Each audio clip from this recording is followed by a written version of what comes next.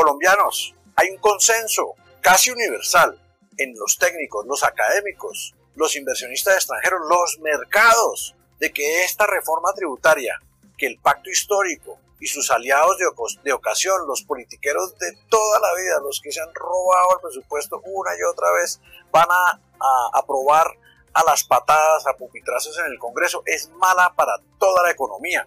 Va a destruir empleo, frenar todo el sector energético, dejar las finanzas eh, en ruinas y grabar más, grabar eh, la canasta familiar a través de los bienes ultraprocesados, grabar eh, la gente que genera más empleo y grabar eh, otro nuevo universo en las pensiones, grabar y grabar y grabar por todos lados. ¿Para qué? Para darle de comer a una burocracia, nueva burocracia como el Ministerio de Francia y la burocracia de toda la vida.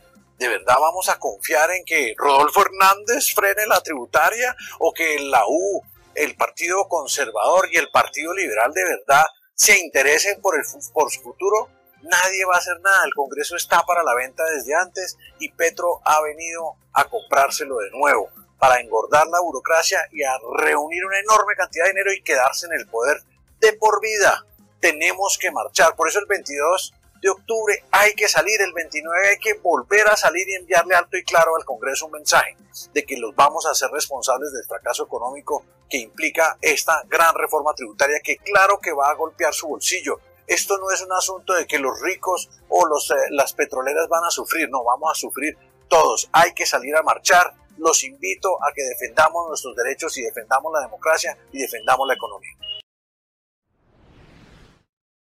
Se ha discutido durante los últimos días si la acelerada devaluación del peso colombiano, que se encuentra en su valor mínimo histórico respecto al dólar, tiene algo que ver con la llegada del pacto histórico al poder.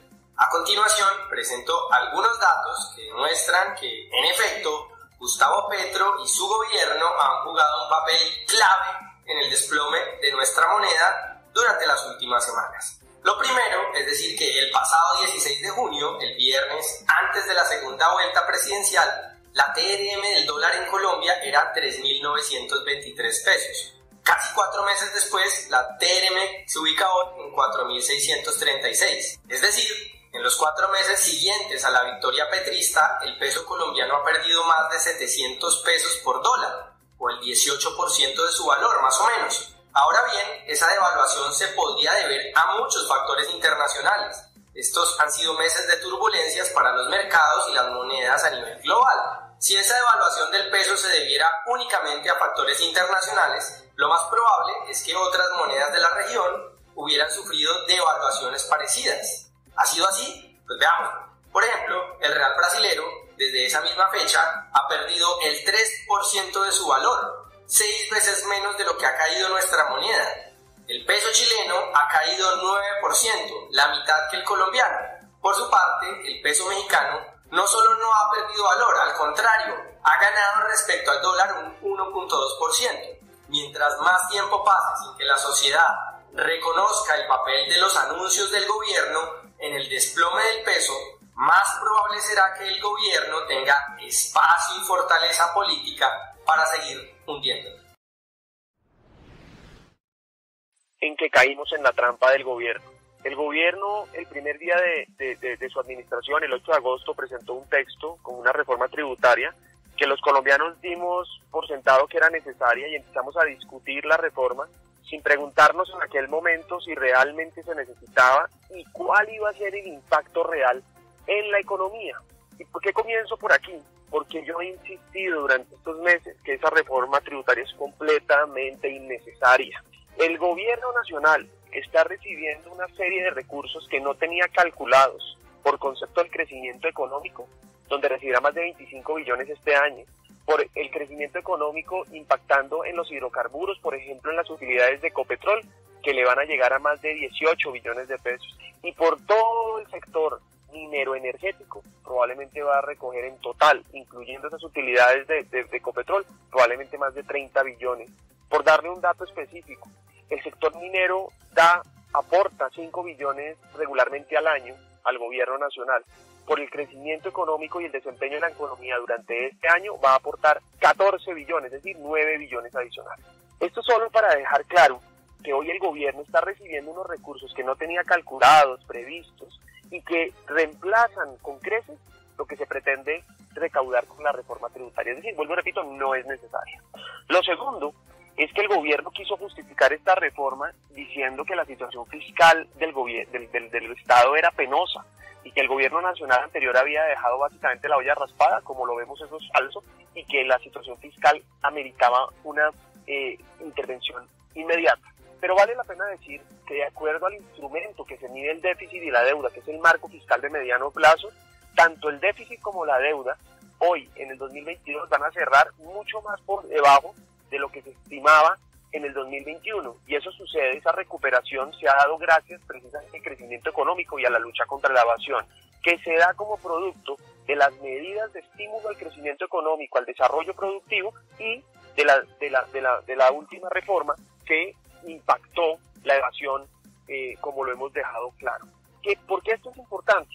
Porque el déficit que se pronosticaba alrededor del 7% para el 2022, el cierre del 2022 va a cerrar en 5.6%. Y la deuda pública que se estimaba en más o menos 65% va a cerrar en 56%. Eso lo que quiere decir es que el crecimiento económico genera el recaudo necesario y la recuperación necesaria para que estos indicadores se mejoren casi que naturalmente con una buena administración. Entonces se caen esas dos falacias, esos dos argumentos falsos, eh, eh, poco precisos del gobierno nacional. Y uno tercero, con el que quisieron justificar esta reforma, era la necesidad de tener un sistema tributario progresivo. Es decir, ellos insisten con ese, con ese discurso un poco eh, de, resentimiento, de odio, demagógico, de la lucha de clases, diciendo que aquí los ricos no pagan impuestos. Y han presentado una serie de gráficas que incluso técnicos como el doctor Juan Pablo Córdoba, el presidente del Consejo Autónomo de la Regla Fiscal, ha presentado unas críticas metodológicas a estos cuadros. Voy a ser preciso en esto. Dice el gobierno nacional que no hay progresividad porque los últimos deciles de las personas con mayores ingresos pagan menos porcentualmente que las personas de clase media o clase baja. Eso es falso. Y eso bien lo deja claro eh, Gonzalo, eh, Juan Pablo Córdoba en este en, esta, en este análisis que hace donde critica metodológicamente esta gráfica y básicamente es una corrección porque esta gráfica que presenta el gobierno lo hace con base en ingresos brutos y debe ser con ingresos netos, básicamente porque quienes más reciben reciben por honorarios, es decir, rentas no laborales o por eh, ganancia ocasional. Y tanto uno como el otro concepto amerita tener una serie de deducciones porque usted no podría generar esos recursos si no hace unas inversiones y esas inversiones no se le pueden contar eh, a las personas como ingreso porque finalmente son costos que tienen que deducir. Entonces, dicho eso, también sale Bruce McMaster, presidente de la ANDI, a decir, las personas más ricas de Colombia pagan también impuestos a través de sus empresas y entonces si usted también corrige por lo que pagan por las empresas, pues también demuestra tanto en un análisis como en el otro que es supremamente progresivo. Ahora, eso no quiere decir que no tengan que pagar más, pero ese es otro debate, no el debate, el falso debate en el que nos metió el gobierno. Dicho estos tres argumentos, he venido planteando que el gobierno, la mejor reforma tributaria es estimular el crecimiento económico, es eh, combatir la evasión, ¿no? Y es promover la austeridad y la lucha contra la corrupción. Y el gobierno, en vez de enfocarse en estas tres áreas, pues ha venido impulsando una reforma, déjeme decirlo nuevamente, la han pupitreado de una manera vergonzosa, eh, ha sido básicamente un debate completamente atropellado, un debate que tendría el tiempo suficiente para discutirse con calma, ampliamente, públicamente, de aquí hasta el final de diciembre de este año. Y este gobierno ha venido con el mensaje de urgencia, con presiones mediáticas, con anuncios, con amenazas políticas, empujando, empujando esta, esta reforma y hace dos semanas fue pupitreada en, de una manera, vuelvo repito, vergonzosa, en donde prácticamente no tuvo ninguna modificación en la comisión tercera de Cámara y Senado, eh, fue una sesión conjunta, y donde a pesar de que yo planteé que era necesario aplazarla al debate, permitir más tiempo, permitir escuchar a los gremios y a los ciudadanos, eh, que era importante poder dar el debate público y que los colombianos conocieran esta reforma, pues el gobierno insistió en que tenía que salir ese mismo día. ¿Y por qué esto es grave? Porque ellos han dicho que, el, que, que no es cierto, que durante dos meses se discutió la reforma tributaria. Sí, pero eso es parcialmente cierto. ¿Por qué? Porque el texto del 8 de agosto presentado por el gobierno es completamente diferente al que se presentó el martes hace 15 días para ser sujeto de votación el jueves dos días después. Es decir, solo 36 horas tuvo Colombia para conocer el texto que se pupitrió dos días después. Entonces, en eso estamos. Esta es una reforma que además todos los sectores han dicho, han coincidido en que pone un, un, un, un, obstáculo, un golpe fulminante al crecimiento económico, que al final eso es la generación de empleo, que eso es al final la generación de oportunidades. Hoy nos estamos levantando con una devaluación del dólar, eh, del peso frente al dólar, y vamos ya a 4.700. Buena parte de esto pasa por la eh, poca confianza inversionista en el país, por los mensajes equívocos del gobierno, por la incertidumbre que se profundiza, por los al sector energético, comenzando por Ecopetrol, que se ha desvalorizado en más de 20 mil millones de pesos, de dólares. Entonces, al final, cuando uno suma todos estos efectos, pues uno no puede entender cómo esta reforma tributaria lo que pretende es contribuir a este escenario, en donde al final se va a ahuyentar la inversión tanto nacional como extranjera, y eso va a poner en riesgo más de 2 millones de empleos. Y no puede entender uno cómo el gobierno, en vez de permitir llegar a una reforma, si realmente van a, caprichosamente van a insistir en una reforma, que sea una reforma que no sea lesiva para el sector productivo y que en vez de desempleo, pobreza e inflación, genere confianza, confianza en el país. Y hoy usted más que nadie lo sabe, doctor Fernando y los oyentes, son miles de empresas que han frenado sus inversiones en Colombia ante este gobierno que ha dado mensaje de ser poco amigable con el, con el sector privado, con el sector productivo, con los emprendedores, con los empresarios.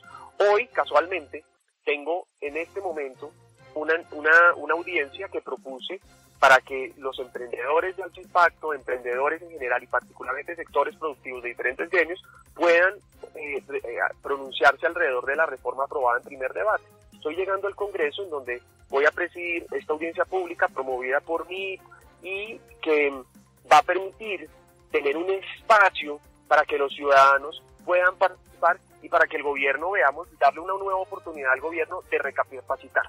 Pero es lamentable que este gobierno la esté, atropellando este debate, que esté imponiendo y pupitreando esta reforma, pero le puedo decir a usted y a sus oyentes que no nos vamos a rendir y que si el gobierno insiste en pupitrearla, no solamente daremos las peleas necesarias en los medios de comunicación, en el Congreso, sino también tendremos que acudir a la vía jurídica, en donde además tendremos que demostrar cómo se está violando el principio democrático y cómo se está impidiendo el debate a fondo de este reforma.